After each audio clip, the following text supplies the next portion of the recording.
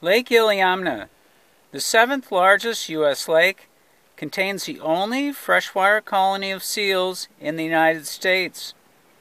Linked to the Pacific through the Kvichak River, Lake Iliamna also features occasional visits by migrating beluga whales. The largest national forest in the United States is Alaska's Tongass, which covers most of the state's southeast panhandle. Tongass is actually a northern rainforest, receiving about 200 inches of rain annually. It stretches across 16 million acres, 13 million of it virgin wilderness, and boasts fully two thirds of America's federally owned shorelines.